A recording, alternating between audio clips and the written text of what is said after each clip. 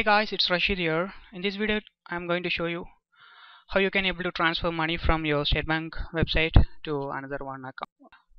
First of all, log into your State Bank of India account.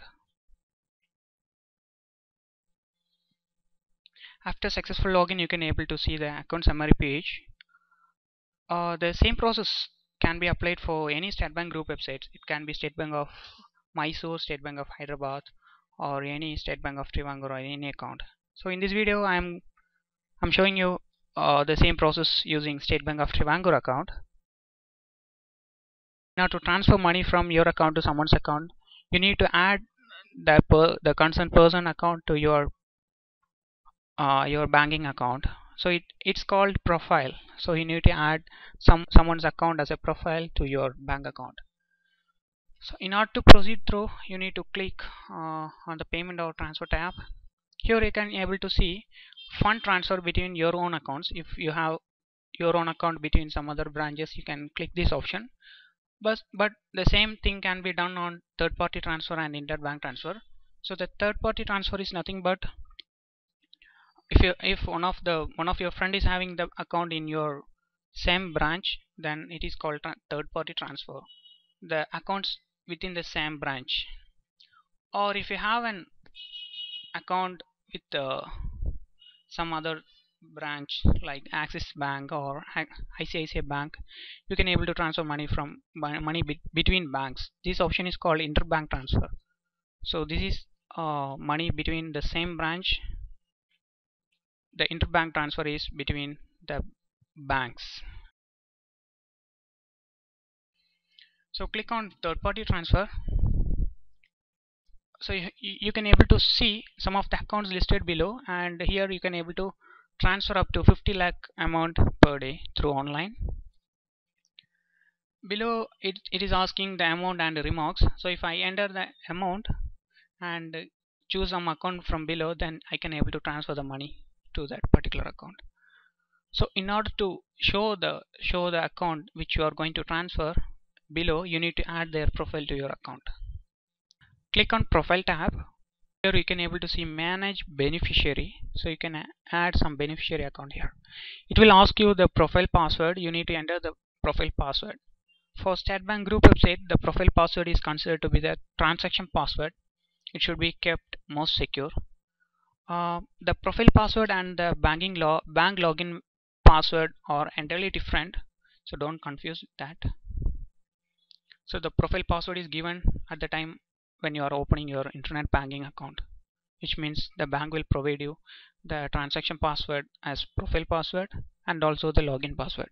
Here you can able to see the three options third party transfer interbank transfer and state bank group beneficiary transfer. As the name itself you can able to understand what they are. That third party means transferring money between the same branch. Interbank means between branches. Click on interbank so you need to enter the name of the person who are holding the account.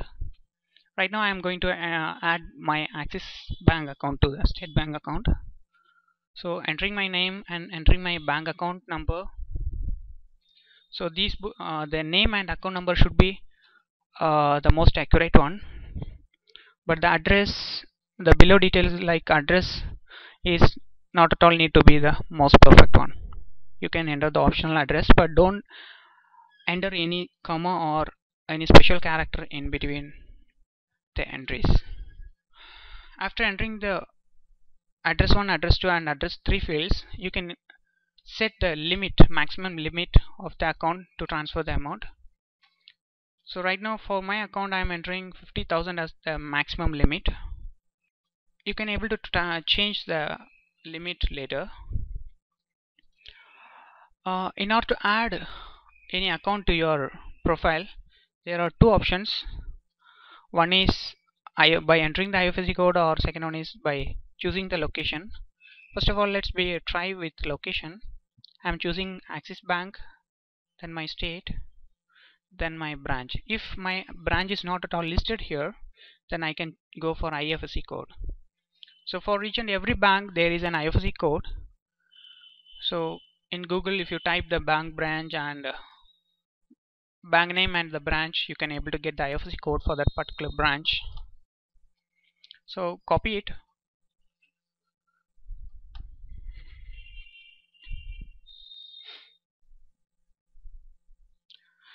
You can able to directly paste the thing here. So I'm pasting it above and I'm entering it manually.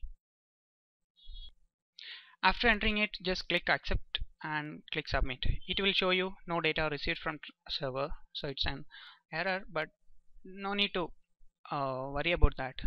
It's an server error. But still the thing which you have added is successfully added to your account. One more thing pending is you need to approve this thing. So after adding this click on approve. So it will ask you two options. One is approve beneficiary or approve limit. Right now I am approve the beneficiary name after entering this page you will receive an SMS immediately through your mobile which has been registered with the bank account. Enter the password which has been received through the SMS and click approve. That's it.